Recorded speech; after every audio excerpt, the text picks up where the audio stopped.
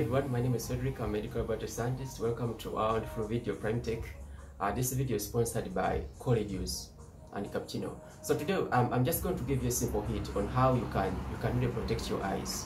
Uh, because it is something if you, if you don't have eyes you cannot you, can, you cannot move forward you cannot do anything if you don't have your eyes if you have and uh, you find out that uh, whenever you go to the hospital uh, it is kind of expensive if you if you visit the, the optician so, but there are some simple things that you can do to protect your eyes.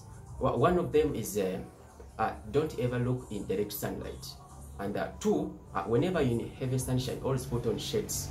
Uh, you know, we are living in these uh, you know, tropical countries, you know, where there is always heavy sunshine.